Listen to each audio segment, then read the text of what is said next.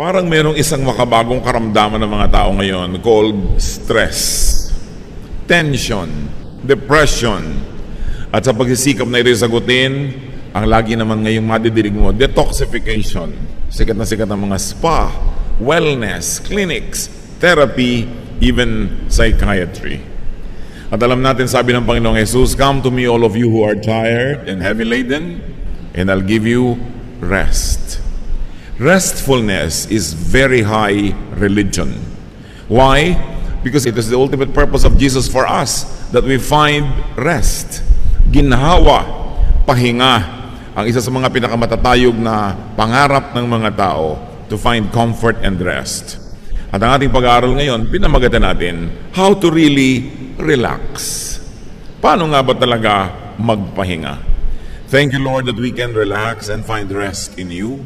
Teach us your will so that we may not needlessly suffer too much fatigue or being tired or being stressed. Let your peaceful spirit rest in us. Forgive us our sins, O God. Cleanse us from all our iniquities. Straighten up our lives. Hold us by the hand. Lead us, guide us, give us rest. In the name of Jesus, your Son, our friend, our Savior, we pray. Our main reading will be coming from Psalm 32, 1 to 11, all from the contemporary English version, unless otherwise stated. Pahinga. Paano nga ba nagpapahinga at bakit nga ba napapagod ang tao? Psalm 32, 3 to 4. Before I confessed my sins, my bones felt limp, and I groaned all day long. Night and day your hand weighed heavily on me, and my strength was gone as in the summer heat. Ito ang sinasabi nitong nagsasalita at nagdarasal sa Diyos. Sabi niya, bago ako nagtapat ng aking mga kasalanan, bago ako humingi ng tawad, ang mga buto ko ay mga masasakit at nangangalos, nangihina. At wala akong ginawa kundi dumaying maghapon.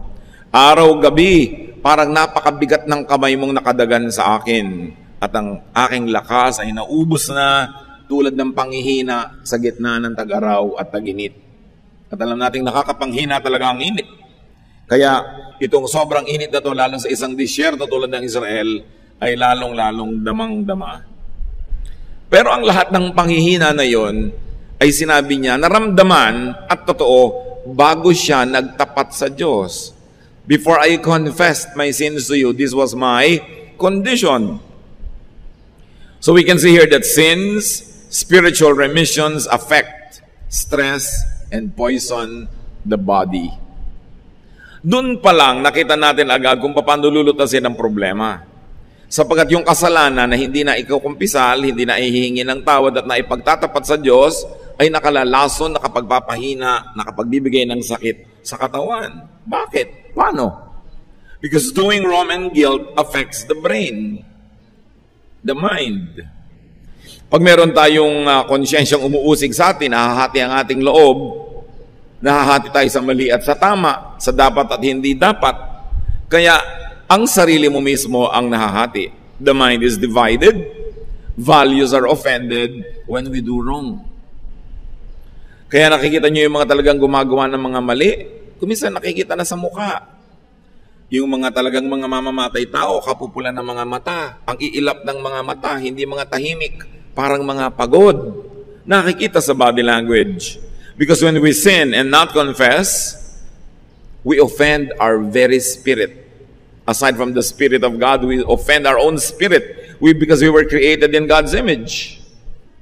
Dahil tayo nilikhang kawangis ng Diyos, tuwing nilalapastangan natin ng Diyos, ay nilalapastangan din natin ating sarili dahil tayo'y imahin ng Diyos. At pag nilapastangan natin ating sarili, gumawa tayo ng bagay na nilalabanan ng sarili nating budi, confusion, disorientation, and stress follow. Kaya ang taong maraming pagkakamali, pagkakasala, pagsisinungaling, pandaraya, hindi pahinga, balisa, mailap, hindi mapakali. Because the mind affects and moves the body. A guilty mind is going to short circuit the electricity of the body and make it sick. A guilty mind drains and hurts and weakens. In fact, guilt afflicts the body. Lahat ay nagmumula sa spiritual world. Ang mga sakit na nadarama ng ating katawan may pinagmumulan yan na spiritual na dahilan. Kaya yung mga magagalitin, nagkakaroon ng mga hypertension. Yung mga hindi makapagtimpi, naha-heart attack. Yung mga laging may mga damdaming hindi maibulalas, sari-saring sakit ang dumadapo sa katawan. Yung mga laging magagalitin, nandaraya, nagigilty, nagkakaroon ng sari-saring karamdaman. Psalm 32, verse 5. So, I confessed my sins and told them all to you. I said, I'll tell the Lord each one of my sins. Then you forgave me and took away my guilt. Dahil sa hirap ng aking kalagayan na meron akong kasalanan hindi na ibubunyag at nahihingi ng tawad, ito na lang gagawin ko. Ipagtatapat ko, hihingi ako ng tawad, iisa-isahin ko para walang maiwan na pinagmumulan ng sakit ng aking katawan at ako'y pinatawad mong lahat, tinanggal mo ang bigat ng aking pagkakasala. So confession to God earns forgiveness, takes away guilt, takes the burden off, confession to God detoxifies the body. Dapat nating uh, alalahanin na alam na naman ng Diyos lahat ng kasalanan natin, ano ang nangyayari, bakit pag ipinagtatapat mo ay lumuluwag ang iyong loob, gumagaan ang iyong damdamin. Bakit mo ipagtatapat sa Diyos na alam naman niya yun dahil alam niya lahat? Kasi pag ipinagtatapat natin sa Diyos, ay inaamin nating kasalanan. At ang pag-amin na yon yung pagtatapat na yon ang nakikinabang ay ikaw, hindi ang Diyos. When the offender knows, acknowledges, and repents and makes right, the offender benefits. You don't confess to God so that God will know your sins. He already knows. You confess to God so that you will know and realize that you are sinful. Kasi yun pang may mali kang ginawa, tapos sinasabi mong, hindi, tama naman ako ng konti, kaya ako naman ginawa yan, kasi, kasi, kasi. Hati ka nun. At ang pagiging hati, nagbibigay yan ng sakit. Eh, kaya ako naman pinatay siya kasi ninakaw ko, kasi magpapakain ako ng anak ko nagugutom.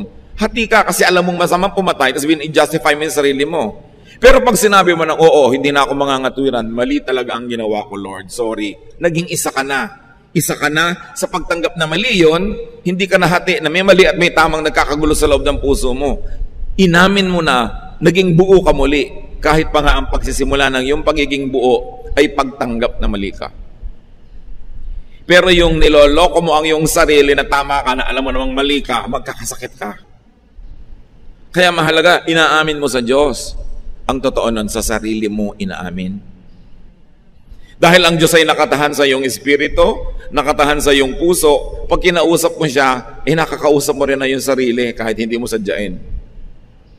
Kaya pag humihingi ka ng tawad sa Diyos, humihingi ka rin ng tawad sa iyong sarili na na-offend mo rin nung gumawa ka ng mali. Kaya nagdadalawang loob ang tao. Sa ating wika, malinaw yan, nagdadalawang loob ka. Hati ang loob mo. Dapat maging buo ang loob mo, isang loob. Kasi talagang mahirap yung hati. So you confess to God, not to inform God, but to inform yourself that you're really wrong, to the point that you admit that you're wrong, to the point that you repent and that you seek forgiveness. And when you seek forgiveness from God, you inevitably seek forgiveness from your own conscience. Lumuluwag tuloy ang iyong loob. Confessing to God is almost like confessing to oneself. Now we have already mentioned that sin is poison for the soul for the spirit. Sin is poison for the emotion and thought and the body. And when you confess, you get detoxified. Usong-uso ngayon yung salitang yan, detox. Tanggalin ang toxin, ang lason sa iyong katawan. Magpurga ka, uminom ka ng herbs, ibabad mo ang paa mo sa ganito, kung ano pinagagagawa natin to detox. But when you confess, you take away the sin from your heart. It's the highest form of detoxification. Psalm 32 6. We worship you, Lord, and we should always pray whenever we find out that we have sinned. Then we won't be swept away by a raging flood. So it is not the sin by itself that sweeps you away, but the guilt and the illness of the spirit and the soul that follows it that destroys the person. So you always pray and you always confess. Pag may kasalanan tayo, hindi na natin iniipon para weekly ang confession sa Diyos o monthly. Tuwing may naisip kang kasalanang nagawa, confess agad para hindi magtagal sa iyong puso yung lason na inilagay ng kasalanan na yon. We should always be conscious of and sensitive to sin. Psalm 32, 7 to 9, to continue. You are my hiding place. You protect me from trouble and you put songs in my heart because you have saved me. You said to me, I will point out the road that you should follow. I will be your teacher and watch over you. Don't be stupid like horses and mules that must be led with ropes to make them obey. Saan ka magtatago sa kasalanan? Eh ang Diyos ay nasa lahat ng dako. Pero pag sa Diyos ka na umamin at nakipag-ayos, sa Kanya ka nagkukubli, siya ang hiding place mo. Sino pang uusig sa'yo? Kung ang Diyos mismo ay pinatawad ka na at ginastify ka na. Pagkakampi mo na yung Diyos, hindi dahil banal ka, kundi dahil inamin mo, tinanggap ang kasalanan at inihingi mo ng tawad, at taos pusong gusto mo nang magbago, yung dating hukom ay ngayon ay kakampi mo na. Sabi niya, you are my hiding place. At huwag daw tayong hangal tulad ng mga kabayo at mga uh, hayop na ang naghihila sa kanila yung mga lubid na nakatali sa kanilang mga ilong kahit ayaw nilang pumunta, hinihila sila doon. At ang kasalanan, parang lubid na nakatali sa ilong natin. Hinihila tayo, hinihila tayo kung saan-saan tayo nagpupunta. Kasi pag gumagawa tayo ng mali, nagkakaroon ng affliction, suffering, and punishment. And because of that, we are led to repentance. Be led by a good conscience to do good. Don't be led by your trying to avoid punishment. Magkaiba yon. Kaya yung mga iba sumusuko na sa Diyos dahil hirap na hirap na, wala nang magawa. So ang naghila lang sa kanila, lubid. Yung, huwag kayong ganun. Magkusa kayong sumunod sa Diyos. Huwag niyong antayin na talian niya kayo ng mga pagdurusa at paghihira para puwersahin kayong sumunod. Sumunod ka na ng kusa at nang huwag ka na masaktan at huwag ka na makipagtunggali at nang wala na lang stress. Now the Lord shelters, protects, guides, and teaches people. And the Lord even cheers people out. Psalm 32, 10 to 11. All kinds of troubles will strike the wicked, but your kindness shields those who trust you, Lord. And so your good people should celebrate and shout. Yung wickedness ditong sinasabi is doing wrong and not confessing to God. Not just doing wrong, doing wrong and not repenting. Doing wrong and not seeking forgiveness and restoration. Kaya ngayon, dagan-dagan sa buhay mo ang buong bigat ng langit. Kasi nagkakasala ka na nga tala mo, hindi mo pa tinatanggap at inihihingi ng tawad.